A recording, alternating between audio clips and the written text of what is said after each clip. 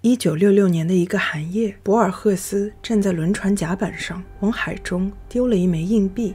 博尔赫斯后来为他写了首诗，此后他在陆地上每一瞬的喜怒哀惧，都将对应着硬币在海底每一瞬间的无知无觉。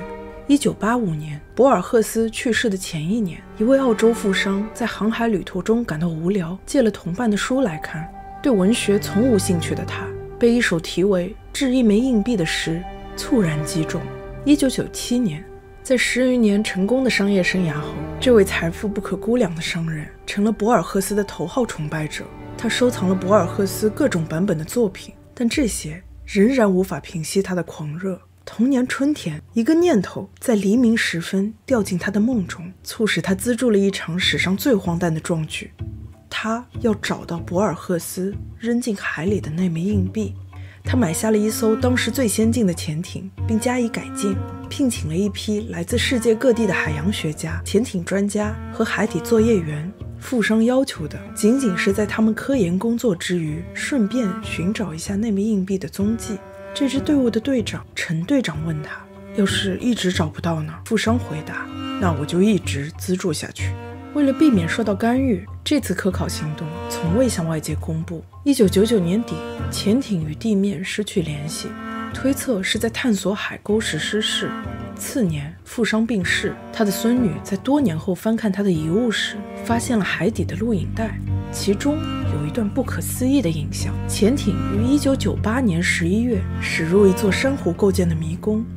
队员们误估了两座珊瑚礁之间的距离，导致潜艇被卡住，动弹不得。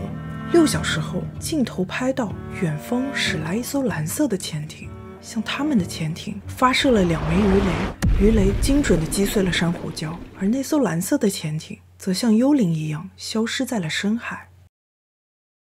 我国知名印象派画家、象征主义诗人陈透纳去世后公开的手稿里，有一篇追忆他早年生活的散文，也许。能为这一神秘事件提供另一种解释。国庆时回了趟老家，老房间的旧床实在太好睡了，随便一个睡姿里都重叠着以往时光里无数个我的同一姿态，从小到大一层套一层，像俄罗斯套娃一样，我觉得格外充实安适。这么多年过去了，我依然爱这个房间，尽管它已经不再是潜水艇的驾驶室。父母喊我吃晚饭的声音。好像从遥远的岁月里传来。穿衣服时，我依然无法相信自己已经三十岁了。晚饭时，母亲说起上礼拜沈医生过世了。以前他给你看过病的，你还记得吧？我嗯了一声。中学那几年，我像着了魔一样沉浸在病态的妄想里，自己倒没觉得什么。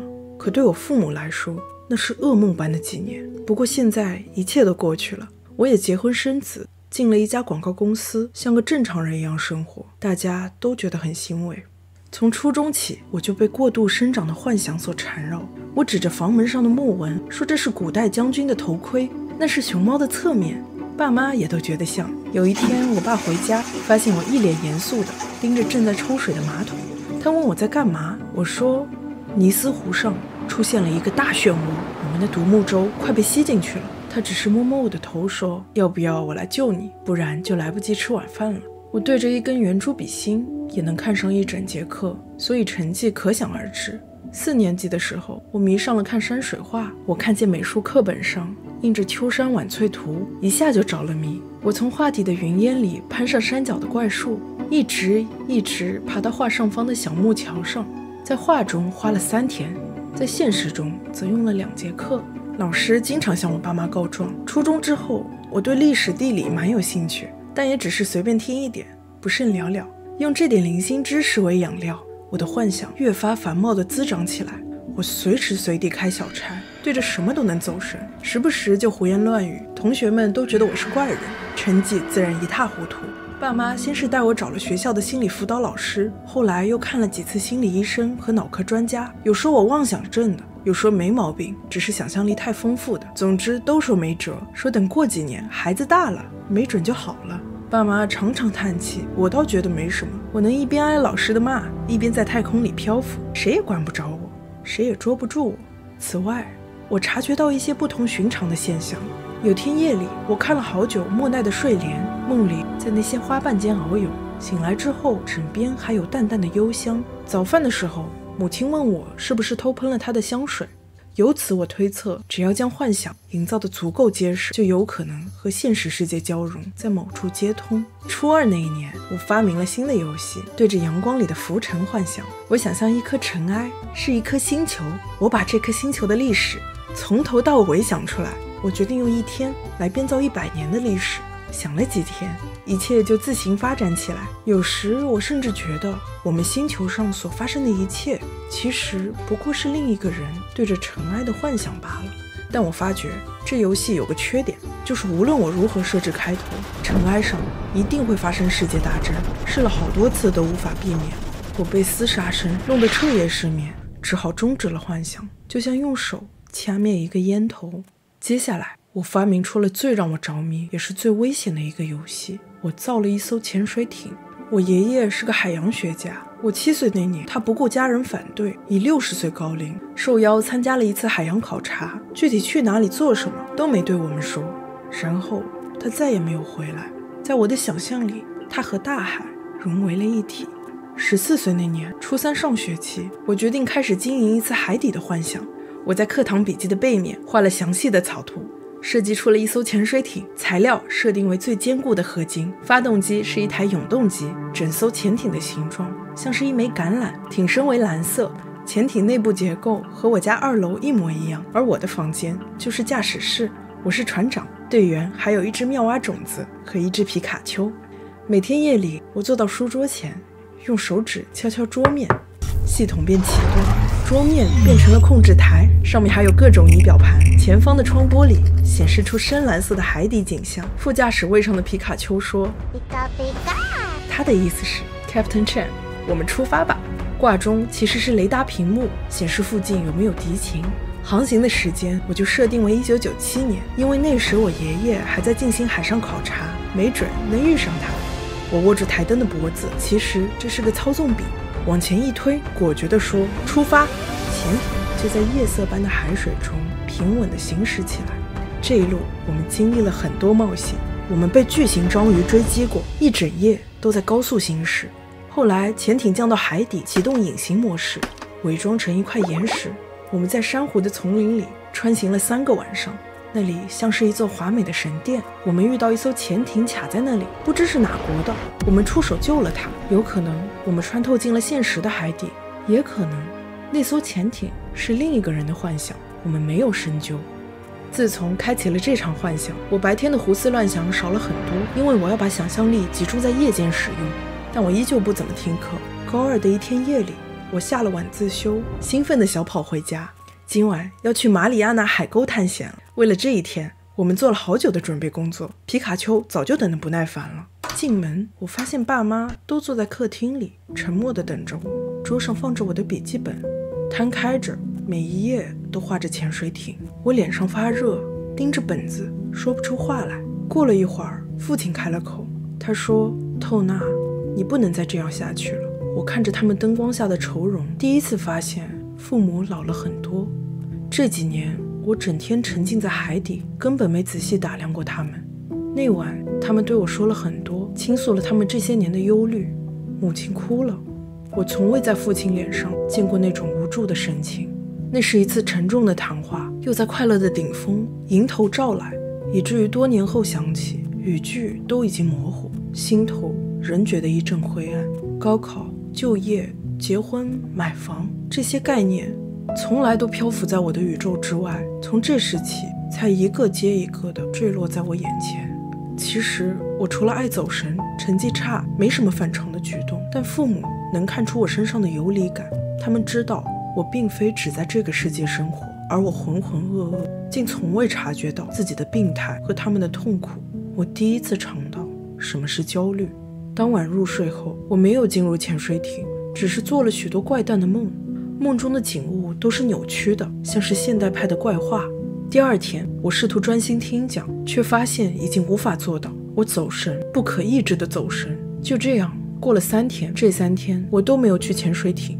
我当然可以想象出一个世界，那里边爸妈并不为我担忧，我依然每夜开着潜艇在海底漫游，但那晚，他们憔悴的面容和疲惫的声音已经刻进我的脑中。我做不到那样自欺欺人。同高考相比，去马里亚纳海沟探险实在是太无关紧要的事了。我不忍心再让他们难过，我要争气。第三天晚上，我想好了对策，闭上眼，我让所有的想象力都集中到脑部。它们是一些淡蓝色的光点，散布在我周身，像萤火虫的尾焰。而这时，它们都往我的头顶涌去。过了好久，它们汇聚成一大团淡蓝色的光芒，从我头上飘升起来，渐渐脱离了我。这就是我的对策。我想象我的想象力脱离了我，于是它就真的脱离了我。那团蓝光向窗外飘去。我坐在书桌前，有种说不出的轻松和虚弱。最后。它像彗星一样冲天而去。第二天，我拿起一本书来看，看了一会儿，惊觉自己真的看进去了。课堂上听讲也没问题，居然整整一节课都没开小差。听课时，对身边的一切我都视而不见。这种适度的麻木真令人舒适。我好像从热带雨林里一下跑到马路上，这里不再有繁密的枝叶和泥沼，眼前只有确凿的地面和匆匆的人流。于是我一路小跑。追了上去。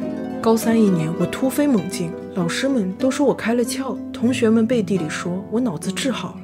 后来的事不值一提，我考上了不错的大学，进了一家广告公司，结了婚。我的脑中再也不会生出藤蔓，它变成一个普通的脑袋了。想象力也一般，和常人相差无几。工作中，有时甲方和领导还说我的方案缺乏想象力，那时我真想开着我的潜水艇撞死他们。有时。我也试着重温往日的梦境，但没有用。我最多只能想象出一片深蓝的海。只有一次，我喝了点酒，睡得格外安适。梦中，我又坐到驾驶台前，皮卡丘推着我说：“皮卡皮卡。”我看了看时间，原来我们还停留在1999年的海底。我离去后，潜水艇中的一切像是被按下了暂停键。他们不知道，我多年前已经舍弃了这里。随后，我就醒了。